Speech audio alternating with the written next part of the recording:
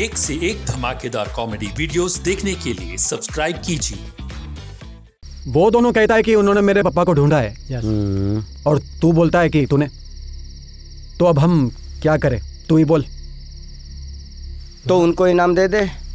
Cash में या check में। अपन को कुछ लेना देना नहीं है। वेरी गुड तू मेरे को खाली इतना बता कि तेरे को अपन से कैसे लेना है? चेक में या कैश में? ए बाबा मीन इस, इसकी मतलब कैश में चाहिए तो मैं तेरे को इधर मारेगा। और चेक में चाहिए तो यहाँ से उठा के कहीं और ले जाके मारेगा। फैसला तेरे को करना है जल्दी जल्दी फटाफट बोल टाइम नहीं है अपने पास। भैया इनको कैसे ही दे दो और थोड़ा कम पड़ेगा ना तो हम दोनों दे देंगे। ये महाराष्ट्र और यूपी बैंक का नोट एकदम कड़क रेडी क्या बात करता है? चेन्नई एक्सप्रेस बन के मारूं या बाहुबली बन के मारूं? मारूँगा ऐसा मद्रासी फ़िल्म की तरह उड़ेगा। अभी अभी आपने कहा कि हम सब अपनी गलती की वजह से अपना कल और आने वाला कल खो चुके हैं। पर आपने तो कोई गलती नहीं की। तो फिर आपका बेटा ऐसा क्यों कर रहा था? नरीमान मेरा बेटा नहीं है। मेरा क्लोज फ्रेंड होमी का बेटा है। मेरी कोई औलाद नहीं थी। मैं बिल्कुल अकेला हो गया था और मेरी वाइफ के गुजरने के बाद होमी ने नरीमान को मेरी गोद में दिया और बोला कि आज से नरीमान तारो निकलो छे उस टाइम मेरे को लगा कि I am the happiest man in the world लेकिन अब लग रहा है कि मेरे से जास्ती बद नसीब इस दुनिया में कोई आदमी नहीं होगा कोई नहीं होगा। नरीमान के इस क्रूर व्यवहार की कोई तो वजह रही होगी? हाँ वजह थी। क्या? उसको पचास करोड़ रुपया मिलने वाला था। पचास! या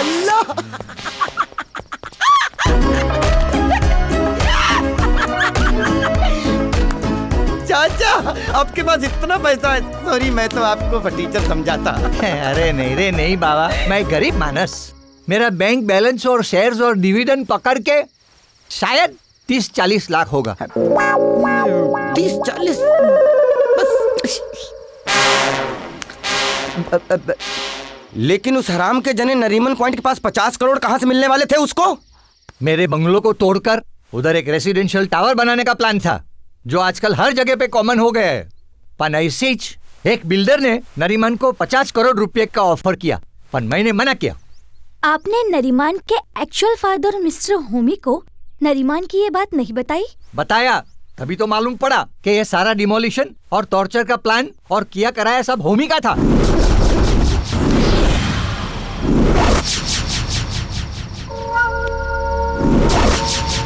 ओ माय गॉड ये सब करा धरा मिस्टर होमी का था? यस इसके पहले कितना पेस्तन जी का घर चुरा के होमी खा गया था। साला मेरे को बोलता है कि ये जूना टूटेला सरेला बंगलो तू मरने के बाद तेरे साथ में लेके जाने वाला है। अरे बिल्डर तेरे को पचास करोड़ रुपया देता है। Three B H K flat लेके आराम कर ऐश कर क्लब जा अग्यारी जा मज़ा कर। साला बेवकूफ़ गद्दा किधर का। नरीमन के नाम पे वसीयत थी। हाँ पर उस वसीयत में मैंने एक ऐसा स्पेशल क्लॉज रखा था। जिसमें लिखा था कि जब तक नरीमान का बच्चा 25 साल का न हो जाए तब तक नरीमान इस बंगलों का एक ईंट भी नहीं तोड़ सकता है ना तो उसको बेच सकता है। बस सिर्फ़ केयर टेकर रह सकता है वो। और नरीमन का बच्चा भी अपने बाप की तरह बंगला तोड़ने का सोच लिया तो आखिर है तो सांप का बेटा? और सांप का बेटा यानी सपोला क्यों बाबा? बरोबर बोला। पच्चीस साल तक मैं ज़िंदा रहने वाला नहीं हूँ। मेरे मरने के बाद जो भी होगा, सो होगा। लेकिन मैं ये बंगलो बेचने नहीं दूँगा। नहीं दूँगा। नहीं दूँगा। नहीं दूँगा।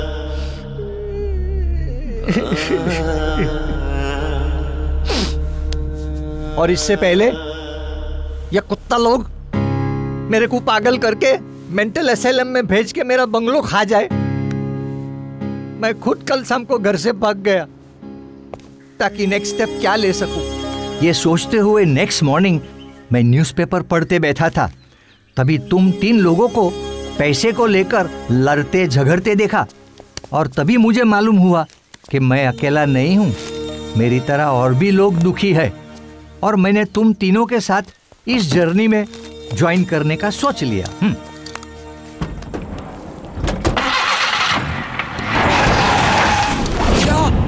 मतलब आप जानबूझकर मेरी टैक्सी के सामने आए थे। सॉरी माफ़ करना। सॉरी क्या? अगर टाइम पे ब्रेक नहीं लगता तो? तो मर जाता था। मेरी नालायक औलाद के हाथों से मरने से अच्छा है तुम लोग अच्छे दिल वाले हो उनके हाथ से मैं मरू। नरीमान ने तो मेरे को दुखी कर दिया था। पंडिकरा तुम लोगों ने भी मेरे को दुखी कर दिया हाँ?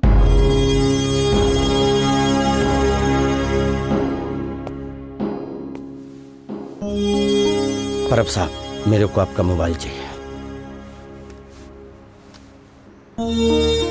न्यूज़ पेपर में था।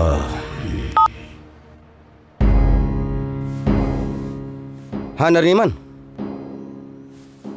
तुम पैसे रेडी रखो, मैं तुम्हारे पापा को लेकर आ रहा हूँ।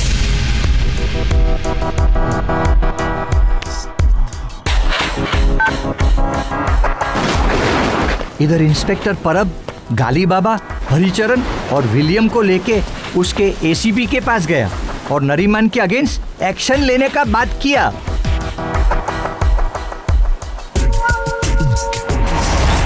और उधर फारूक मेरे को गैरेज लेके गया, शैतान के हवाले करने।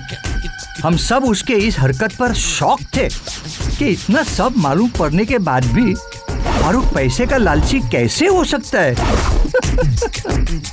पर फिर जो हुआ वो अनएक्सपेक्टेड था।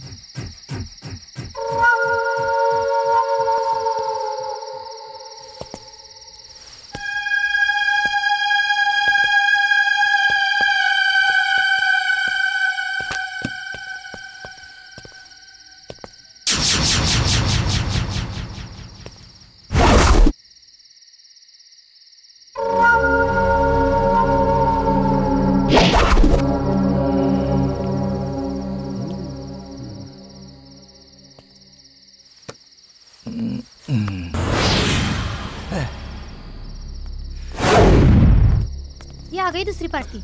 यही है वो दूसरी पार्टी।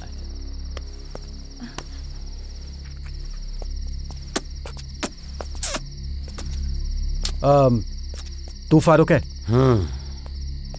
देखो यहाँ इनाम का पैसा को लेकर थोड़ा कंफ्यूजन है। वो दोनों कहता है कि उन्होंने मेरे पापा को ढूंढा है।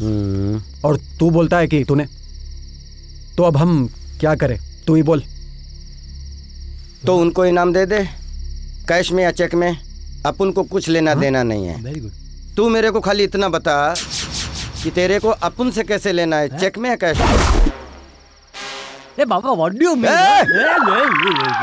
इस, इसकी मतलब कैश में चाहिए तो मैं तेरे को इधर मारेगा। और चेक में चाहिए तो यहाँ से उठा के कहीं और ले जाके मारेगा। फैसला तेरे को करना है जल्दी जल्दी फटाफट बोल टाइम नहीं है अपने पास। भैया इनको कैसे ही दे दो और थोड़ा कम पड़ेगा ना तो हम दोनों दे देंगे। ये महाराष्ट्र और यूपी बैंक का नोट एकदम कड़क रेडी क्या बात करता है? चेन्नई एक्सप्रेस बन के मारूं या बाहुबली बन के मारूं? मारूँगा ऐसा मद्रासी फ़िल्म की तरह उड़ेगा।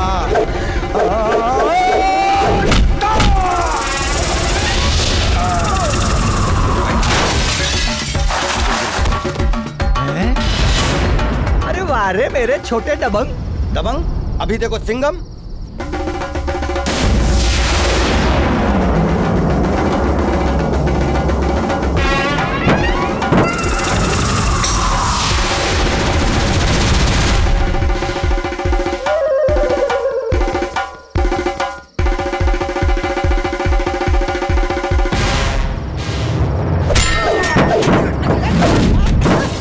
तेरी की तो।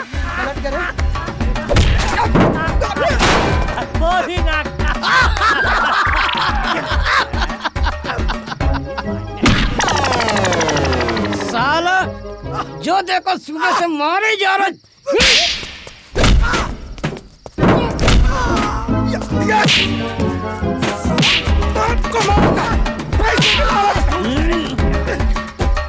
अरे गजेरा सुंदर। इसको क्या मारता है? वो तो ऑलरेडी मरल है। उधर जाके उसका हरम खोर बेटा को जाके मार? जा जल्दी। ये साले।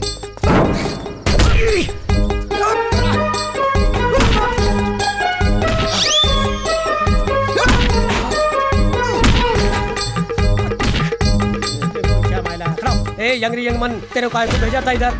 वो भी ना बैठाई हम सोचे भैया जब मार रहे हैं, तो हम बीच में काहे कूदे मेरे को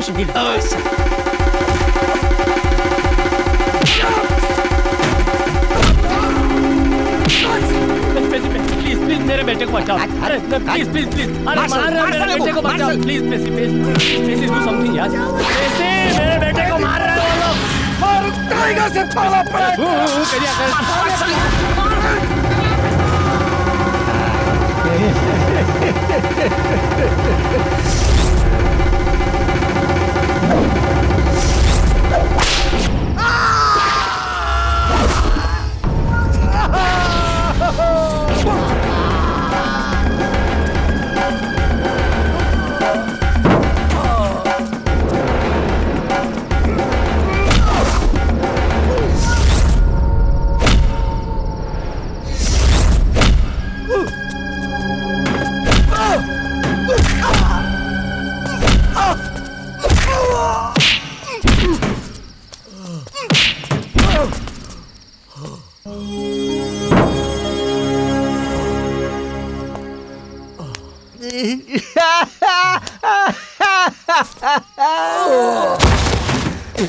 ये कौन सा स्टाइल था बाबा?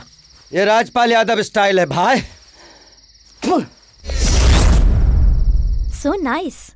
पर इन सब के पास पैसे कहाँ से आए? मैंने दिए पैसे। हम्म, ऐसा है ना अनुप्रिया? कफन में जेब नहीं होती है। हम मरने के बाद अपना जो भी चीज़ है वो साथ तो ले नहीं जा सकते।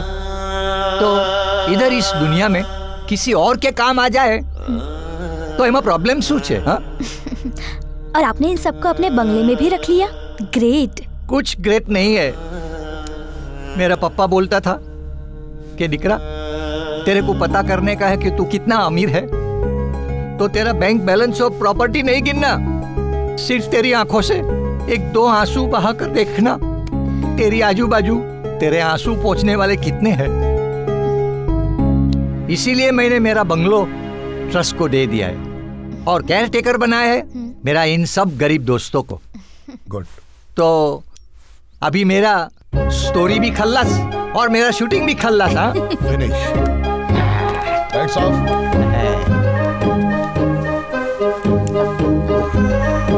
excuse me sir Nariman और नौहित का क्या हुआ आपने बताया नहीं?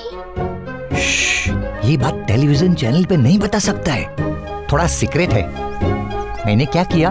नरीमन और नोहित को अपना अटेम्प्ट टू मर्डर का चार्ज लगा के जेल में अंदर करवा दिया और मेरा बदन के ऊपर चाकू मार के लगा के केस बनाया। शैतान को हराने के लिए कभी कभी शैतान की चाल चलने का ज़रूरत पड़ता है। और ये आइडिया मैंने इंस्पेक्टर परब से हो गया बाबा अब सब मस्त फालतू हाँ। में इनका और हमारा अच्छा हो अच्छा, गया। इधर ध्यान दो अपना चुप चुप चुप चुप मत करो। ये है वामन। हेलो हाँ हाँ मिलाओ मिलाओ क्या कुछ शर्माता है? और ये हरिचरण। हेलो। और ये है इंस्पेक्टर परब पुलिस वाला वो जो चाकू वाला चाकू। अच्छा। हेलो। चलो अब मैं तुमको सुंदर फारूक और बाबा से मिलवाता हूँ। बी वामन भालेराव।